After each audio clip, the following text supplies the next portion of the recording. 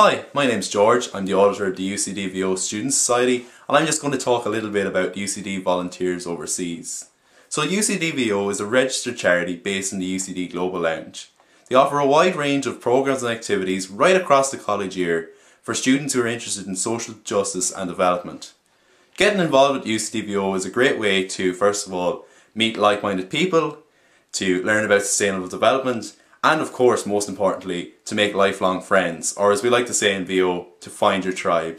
So then you might ask, what makes UCDVO so great? Well, firstly, there's the year-long Volunteering and Development Education Programme. This programme covers the Sustainable Development Goals, intercultural learning, ethical volunteering, and practical tips on awareness raising. Participants will take part in, in training days, in development education activities, and volunteer with one of UCDVO's partners in India, Tanzania or Uganda.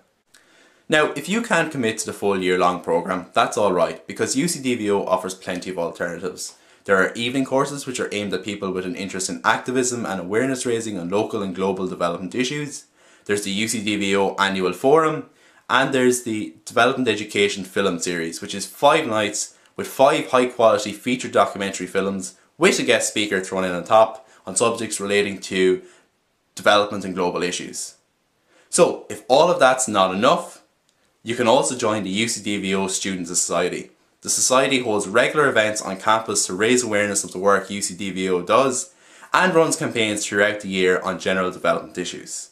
To top all of that off, the Society of course holds regular social events, the highlights of which are the annual pub quiz, the annual gala and the charity ball which is a night not to be missed. So lastly, all I can say is I'm going in now to my third year as a member of UCDVO and I've had an absolute ball. I've learned so much, I've made so many friends, met so many people and I just cannot recommend it highly enough. So I look forward to hopefully meeting you as a new member of UCDVO during the year and thanks very much for watching.